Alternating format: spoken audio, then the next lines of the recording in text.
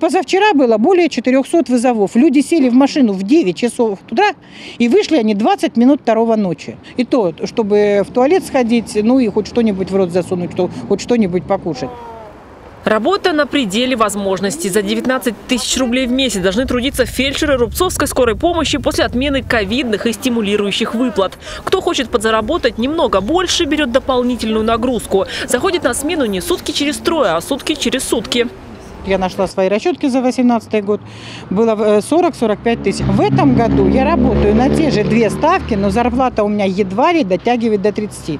Соответственно, моя зарплата по сравнению с 2018 годом уменьшилась практически на 15 тысяч. Чтобы обеспечить себе хоть какую-то более-менее достойную жизнь, мы вынуждены забросить семьи. Мы работаем здесь сутки через сутки. Дети не без родителей, по сути, растут. Ну и мы здесь, ну, по большому счету умираем. Мы оба работаем на скорой помощи. Я фельдшер, муж водитель, еще и двое детей. Соответственно, это тяжело.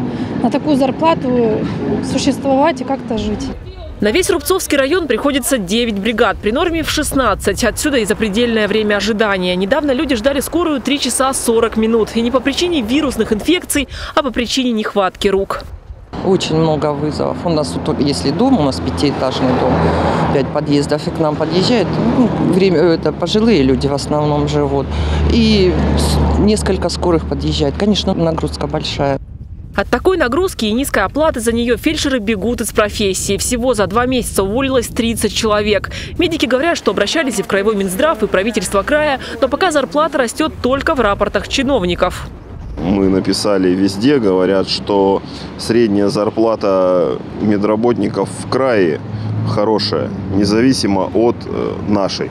То есть отдельно взятая зарплата отдельно взятой организации не имеет значения для общего.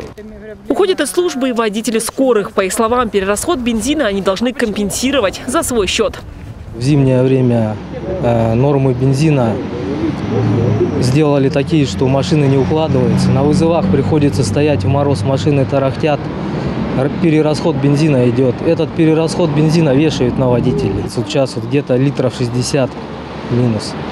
То есть это вам придется компенсировать? Ну, вот на нас будут вешать. Медики говорят, что они в отчаянии, но знают ли в Министерстве здравоохранения о том, что за несколько месяцев скорая помощь Рубцовска осиротела сразу на 30 человек? Ответ на этот вопрос мы намерены получить у профильного ведомства. Туда направляем официальный запрос. Возможно, пока ждем ответа, еще кто-нибудь из медиков успеет уйти.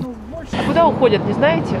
Куда сбегают люди отсюда? Не поверите в торговлю. Пивом торговать люди уходят. Валентина Аскерова, Андрей Печоркин. День с толком.